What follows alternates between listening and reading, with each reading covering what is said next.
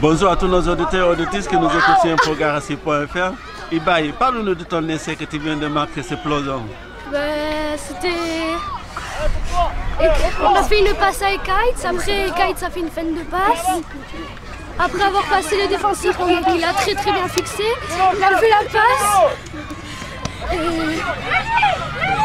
j'ai été marqué tranquillement. Alors, qu'est-ce que vous avez fait ce matin? C'est le premier match que vous avez gagné ou vous avez gagné d'autres matchs? Ben, le premier match on l'a- perdu comme, comme le deuxième. Et là c'était notre troisième match et on vient de gagner. D'accord. Est-ce que tu veux, comme ton père, parce que ton père il est connu, est-ce que tu veux devenir comme papa ou tu veux faire autre chose? Oui, être connu, oui. Ouais, parce que ton père il jouait en Fédéral 1, après en Fédéral 2, et cette année il a pris sa retraite, c'est ça? Voilà. Et c'est quoi, c'est quoi, ton rêve toi Devenir rugbyman professionnel.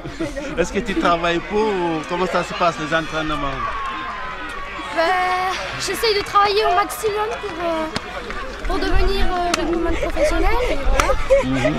Tu peux dire là, je gagne.